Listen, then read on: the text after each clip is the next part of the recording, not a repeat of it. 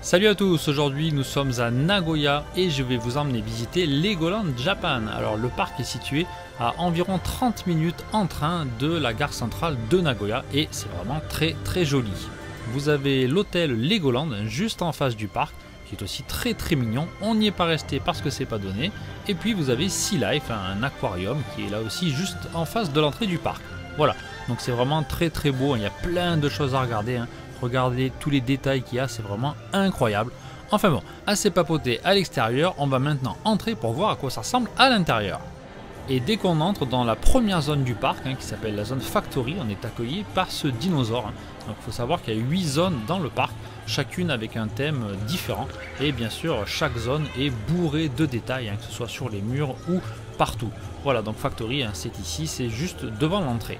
Voilà, je vous laisse regarder un petit peu la zone, il y a plein de petits trucs à voir. Alors vous constatez qu'il n'y a pas beaucoup de monde, hein. pourtant c'était le 1er août, on était en pleine zone rouge. Mais même s'il y avait évidemment quelques personnes, hein, comparé à Universal Studios à Osaka ou à Disneyland, ça n'a rien à voir en termes de fréquentation. Regardez le plus grand magasin du parc à l'entrée, il n'y a absolument personne, pourtant c'est immense. Voilà, donc c'était vraiment très agréable, du coup on n'a vraiment pas beaucoup attendu pour les attractions.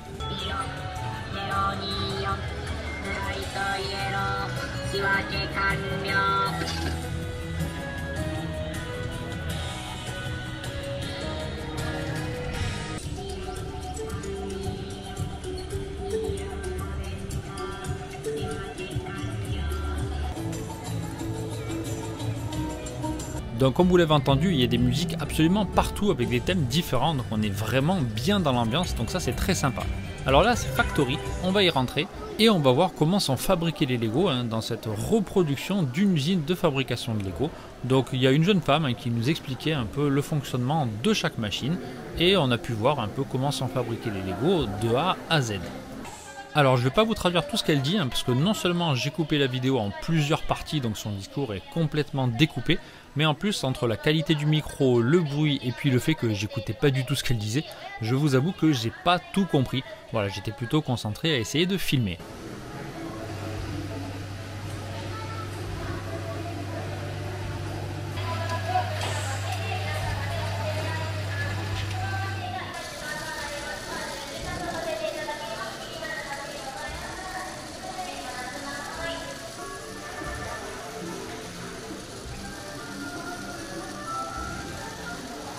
Comme dans tout bon parc qui se respecte, après la visite, vous arrivez dans un magasin et donc là, on pouvait prendre un gobelet et pour 3 millions, on pouvait le remplir de tous les Lego qu'on voulait hein, parmi toutes ces jolies couleurs.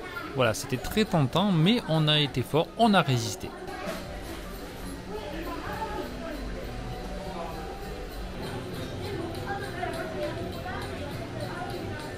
Et en fait, ce magasin est déjà dans la deuxième zone du parc qui s'appelle Bricktopia et qui est assez grande, hein, c'est assez étendu. Il y a d'autres magasins juste en face avec des porte-clés en forme de Lego, il y a des sacs, il y a tout ce que vous voulez. Hein. Je vous laisse regarder un petit peu.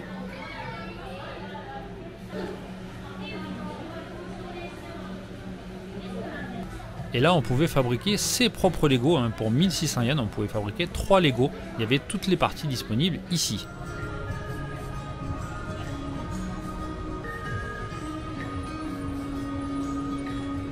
La tour d'observation bien sûr dans laquelle on est monté et on a vraiment une vue magnifique sur tout le parc. Donc la qualité d'image est pas très belle, hein. il y a des reflets, désolé, mais voilà, ça vous donne un peu une idée de la superficie du parc et de ce qu'il y a. On va voir chaque zone juste après ça. Et sous un chapiteau, il y a même une zone duplo hein, pour les plus jeunes, donc un peu abrité du soleil, c'est humidifié également. Donc même avec un enfant en bas âge, on peut y aller et s'amuser.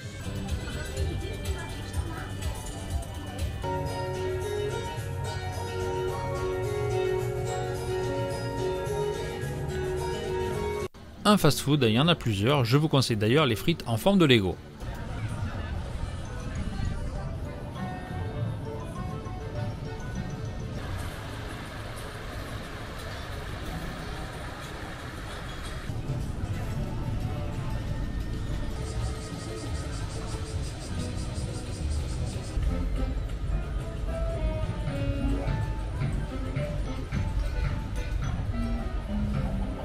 On arrive dans la baie des pirates, donc qui est très jolie et très amusante, surtout en été. Hein. on est monté sur ces bateaux et donc vous voyez on peut envoyer de l'eau sur les gens qui sont à l'extérieur et les gens qui sont à l'extérieur ont également des canons à eau pour nous arroser.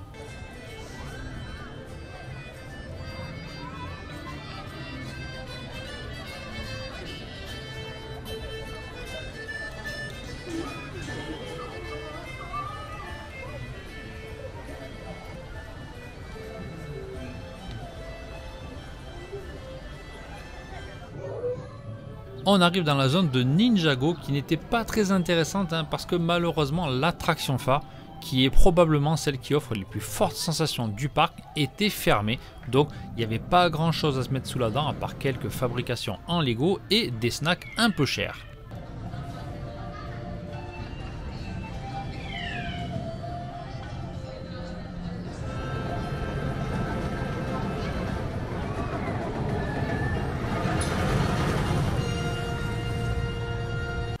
Nouvelle zone, nouveau thème, avec cette fois le thème des chevaliers. On arrive à Night Kingdom, le royaume des chevaliers. Et le grand 8 qu'on vient de voir juste avant hein, s'appelle le dragon. Et il fait partie en réalité de cette zone. On l'a vu par-dessus la palissade, mais en réalité il appartient au Night Kingdom. Et vous voyez donc des files inexistantes. On l'a fait et on n'a pas du tout attendu. On a marché directement jusqu'à monter à bord d'un petit wagon.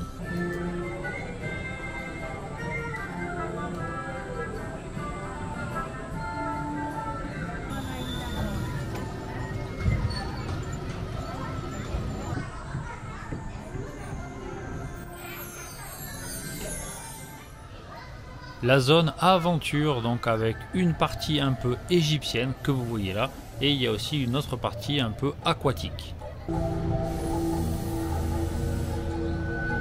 Un pharaon avec 200 000 pièces de Lego et là c'est une attraction classique, hein. on est dans un wagon et on a un pistolet laser et on essaye de faire le meilleur score.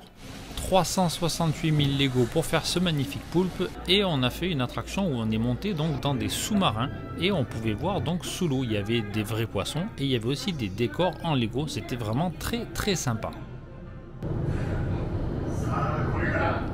Et on arrive à la zone Lego City donc la partie un peu ville de ce parc avec euh, des jolis décors, hein, des sets de vie recréés avec des Lego c'est très sympa, c'est surtout pour les plus jeunes hein, et pour des activités en famille, on va dire.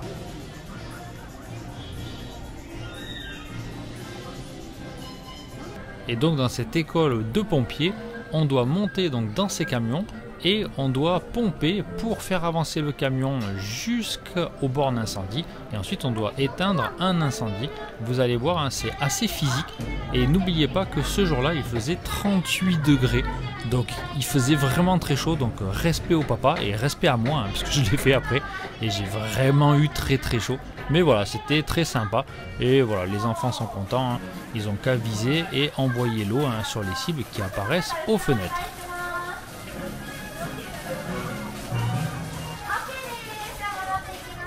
Alors gros coup de cœur hein, pour la zone Miniland qui recrée donc des bâtiments et des villes entières du Japon actuel hein, en Lego. Je vous laisse regarder ça, c'est vraiment très très joli. Et il y a beaucoup beaucoup de petits détails, euh, de petites scènes, il y a des boutons sur lesquels on peut appuyer pour activer des petites actions. Voilà, c'est vraiment très très sympa.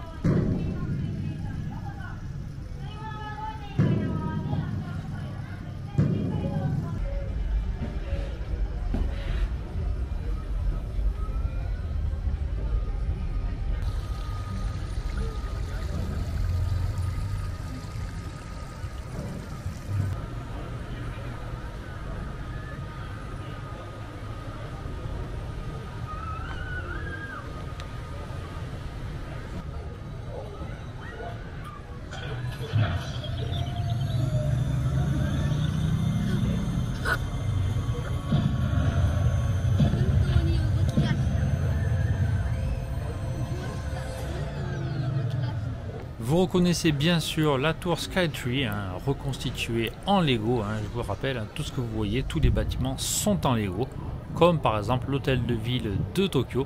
Et c'est vraiment incroyable le niveau de détail entre les bâtiments qui sont très fidèles et les personnages qui font tous des choses. On pourrait passer des heures à les regarder.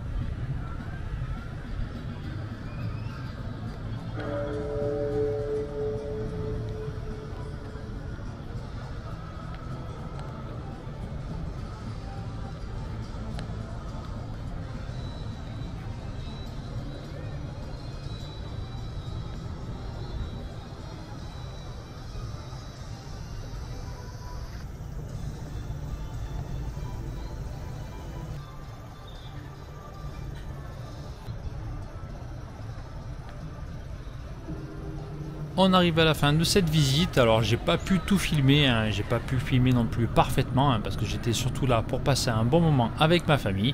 Donc voilà, j'ai fait avec ce que j'ai pu. J'espère que ça vous a plu. Si c'est le cas, n'hésitez pas à laisser un commentaire, un petit like.